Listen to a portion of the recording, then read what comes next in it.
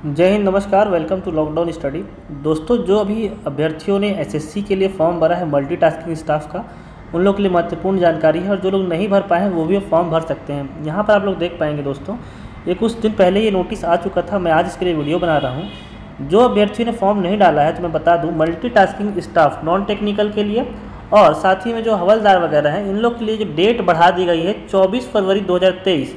ठीक है, अभी दो तीन दिन का समय और बचा हुआ है। अगर गलती से कोई अभी तक फॉर्म नहीं डाला है या फॉर्म डालना चाहते हैं तो अभी भी इसके लिए डेट है। इसके लिए अभी एसएससी मल्टीटास्किंग स्टाफ के लिए आप लोग फॉर्म ज़रूर डाल दीजिए, ठीक है? अगर फॉर्म डाल चुके हैं और कुछ गलती से मिस्टेक हो गया है, उसको करेक्शन करना चाहते हैं तो उसके लिए भी डेट आपको दी गई है। यहाँ पर आप लोग देख पाएँगे। पहले आपको ये बता देता हूँ कि 24 तारीख तक आप लोग को ऑनलाइन आवेदन डाल देना है, ठीक है? और अगर आपके साथ कुछ गलती हो गई है तो इसके लिए भी डेट यहाँ पे खुली रहेगी, देख पाए हैं। Dates of windows for application form correction and online payment correction charges अगर आप कुछ करेक्शन करते हैं तो उसके लिए ऑनलाइन पेमेंट भी कर सकते हैं, जो चार्ज है उसका। तो दो तीन से मतलब कि दो मार्च से लेकर के तीन मार्च के बीच में तेईस घंटे तो यहाँ पर अगर कुछ फॉर्म में गलती हो गया तो इस दिन को डेट को आप लोग याद रखेंगे और इस दिन फॉर्म को अपना सुधार लेंगे। तो ये इंपॉर्टेंट डेट थी। आगे मैं बात करता हूँ दोस्तों, एक और नोट जिसमें ये बताया गया था कि आप लोग के लिए जो पोस्ट है उसको बढ़ा दी गई है, उसको भी मैं आपको दिखाता हूँ। तो यहाँ पे आप लोग देख पाएँगे दोस्तों एसएससी के द्वारा एक और नोटिफिकेशन आ गया था। वहाँ पे लिखा गया था कि tentative vacancy for the post of multitasking non technical staff and हवलदार, ठीक है? यहाँ पर सभी के लिए पोस्ट बढ़ा दी गई है। यहाँ पे आप देख पाएँगे एन रीजन है एन आर रीजन है सी आर रीजन है। सभी के लिए यहाँ पूरी पोस्ट है, यहाँ बढ़ा दी गई है। अगर मैं एम पी आर रीजन की बात करूँ, मध्य प्रदेश और छत्तीसगढ़ की बात करूँ तो यहाँ पर अब छत्तीसगढ़ के लिए भी पोस्ट बढ़ा दी गई हैं। यहाँ पे एक सौ बारह, छिहत्तर, बीस, दो टोटल दो की बात करता हूँ यहाँ पर टोटल दो पोस्ट छत्तीसगढ़ में है इसके लिए, ठीक है? S S C multitasking staff के लिए। अगर मैं ओवरऑल बात करता हूँ ग्रांड टोटल की बात करता हूँ दोस्तों तो आप लोग सबसे लास्ट में यहाँ पे देख पाएँगे, जो ग्रांड टोटल अब हो गया है, वो एक हज़ार लगभग पोस्ट बढ़ा दी गई है। बारह हज़ार पाँच सौ तेईस पद, बारह हज़ार पाँच सौ तेईस पद एसएससी के लिए यहाँ पर रखे गए हैं। जो अभ्यर्थी तैयारी नहीं किए हैं, तैयारी नहीं कर रहे हैं, बहुत ही अच्छे तरीके से तैयारी करने भिड़ जाएँ, क्योंकि इसका एग्ज़ाम भी बहुत जल्दी कराया जाएगा। चलिए, अब मैं बात करता हूँ दोस्तों, बहुत लोग को पता होगा, लेकिन सिलेबस के बारे में थोड़ा बात कर लेते हैं। सिलेबस इसका क्या क्या है? तो यहाँ पे आप लोग देखेंगे, ये फुल नोटिस है, जो पहले आया था, और इसके नीचे मैं आपको सिलेबस वगैरह सारी चीज़ें मैं आपको बता देता हूँ। बहुत सारे लोग अभी इसके लिए एग्ज़ाम के लिए तैयारी भी स्टार्ट नहीं कर रहे हैं। तो इनको क्या पढ़ना है, कैसे तैयारी करना है, सभी चीज़ें थोड़ा सा एक बार और आपको मैं बता देता हूँ।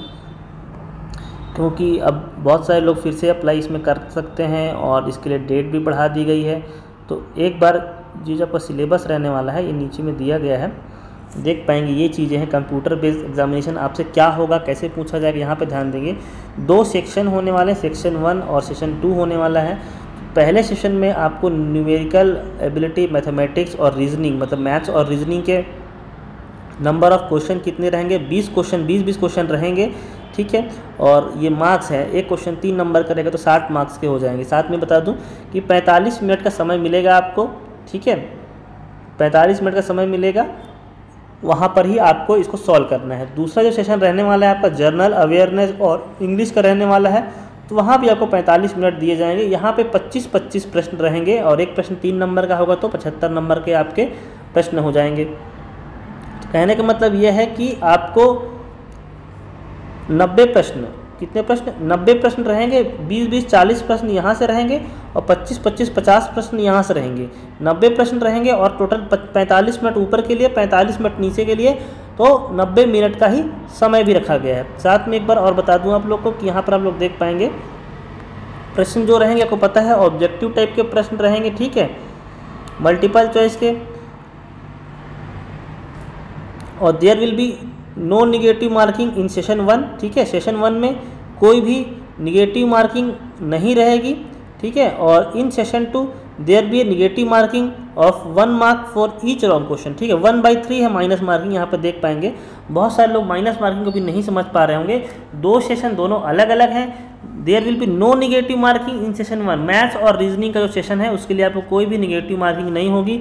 आपको पूरे प्रश्न बनाने हैं। और जो सेशन टू की मैं बात करता हूँ, उसको बहुत ध्यान से बनाइए, क्योंकि यहाँ पर लिखा हुआ है there will be negative marking for one mark ठीक है? एक नंबर काट दिया जाएगा आपका, अगर एक प्रश्न आपका गलत होगा, एक प्रश्न तीन नंबर का है, ठीक है? तो कहने का मतलब ये है कि आपको तीन नंबर का प्रश्न, एक प्रश्न गलत हो जाएगा तो एक नंबर काटेगा मतलब अगर आपको परसेंटेज माइनस मार्किंग देखा जाए तो यहाँ पर सेकेंड सेशन के लिए one by three minus marking हो जाएगी। और सिलेबस ये है, कुछ इस प्रकार का आप लोग चाहें तो इसके लिए स्क्रीनशॉट लेकर के रख सकते हैं। ऊपर वाला जो सिलेबस है वो मैथ्स एबिलिटी के लिए है और सेकंड वाला जो सिलेबस है वो रीजनिंग के लिए है। ठीक है? और ये जर्नल अवेयरनेस का सिलेबस है और ये इंग्लिश का सिलेबस है। बस इतना ही चीज़ें आपको पढ़नी है। इसको भी आप लोग चाहें तो स्क्रीनशॉट लेकर के यहाँ पे रख सकते हैं। उसके बाद आपका पीटी टेस्ट वगैरह होगा। वहाँ पर मैं बता दूँ आप लोग को, जो मेल कैंडिडेट होंगे, ठीक है? यहाँ पे देख पाएँगे मेल जो कैंडिडेट है 1600 मीटर हम लोग को दौड़ना है 15 मिनट में। ठीक है? चलना है मतलब कि, और एक किलोमीटर चलना है इन 20 मिनट में, ठीक है? चलिए होप सो आपको सारी चीज़ समझ में आ गई होंगी और बाकी चीज़ें आप लोगों ने देख ली होंगी। तो जो लोग फॉर्म नहीं डाले हैं जल्दी से फॉर्म डाल दें और इसके तैयारी करने के लिए लग जाए। मिलता हूँ आपसे अगले वीडियो में। तब तक धन्यवाद। जय हिंद।